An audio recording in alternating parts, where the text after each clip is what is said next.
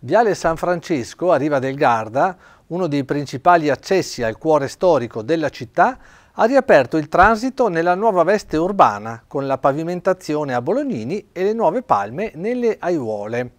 Si tratta della conclusione di lavori iniziati qualche anno fa che ha visto il cambiamento radicale della via che conduce da Piazza Garibaldi fino a Largo Bensheim.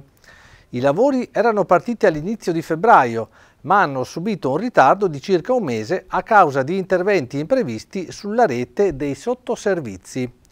Il costo preventivato dell'intervento era di circa 700.000 euro, rispetto al quale la ditta che si è aggiudicata l'opera ha presentato un ribasso a base d'asta del 33%.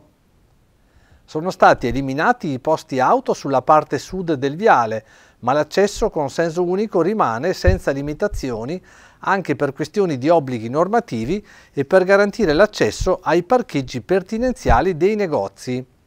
Risorse finanziarie permettendo, uno degli obiettivi del Comune per il prossimo futuro è quello di estendere l'arredo urbano anche all'asse che partendo proprio dal nuovo Viale San Francesco percorre via Scaligero e la zona est del canale della Rocca sino alla parte antistante la spiaggia degli Ulivi.